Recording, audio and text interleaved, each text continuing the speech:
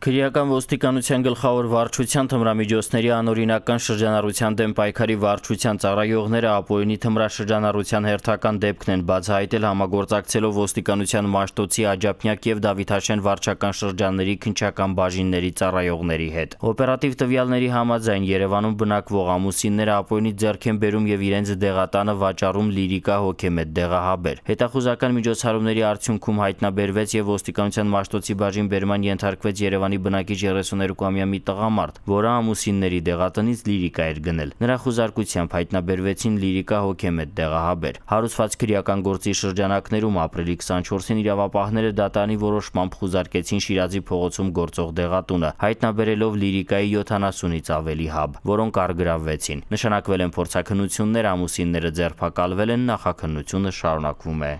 Ծանուցում ենթադրյալ հանցանքի մեջ կասկածվողը կամ մեղադրվողը համարվում է անմեղ, քանի դեռ նրա մեղավորությունն ապացուցված չէ Հայաստանի Հանրապետության քրեական դատավարության օրենսգրքով սահմանված կարգով՝ դատարանի օրինական ուժի մեջ մտած դատավճռով։